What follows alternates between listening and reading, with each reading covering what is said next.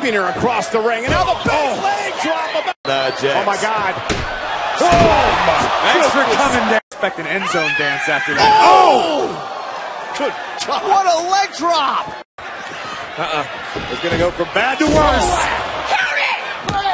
The leg drop. The ring to beat her. That proves. Oh, Oscar. Describe it, Corey. Oh. Leg drop by Nia. So we're looking at a focus now, Jackson. Big leg this drop. could be it. Right? Oh, leg drop right across the spine of.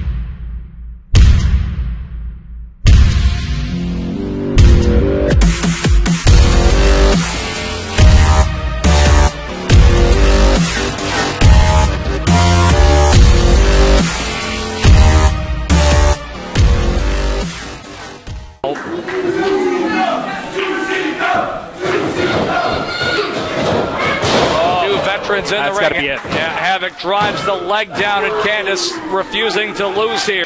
Just come out and attack. Oh, yeah, she doesn't wait for an invitation. I mean, no. Think, think about when she first arrived on the scene as she drops that leg. You know that all the knockouts are gathered around a monitor somewhere here in the Manhattan Center watching this matchup.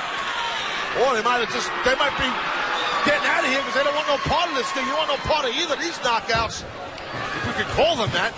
Oh! And Havok, lots of get it. days ago, cover and calling.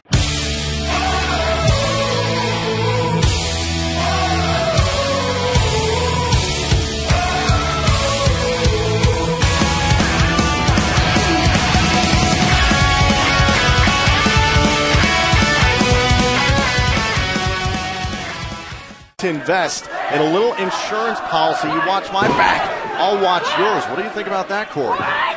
I mean, I don't trust Becky Lynch. She has no loyalty.